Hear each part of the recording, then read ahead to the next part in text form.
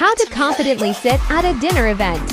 Welcome back to another Body Language Check episode. Here's how you can look more confident at a dinner event. Avoid slouching your back when you're sitting, rocking back and forth or fidgeting, sitting too far back in your chair. It makes you come across as unengaged. You also want to avoid covering the front of your body with your arms, or covering your face with your hands, or hiding behind your menu. They're all signs of discomfort.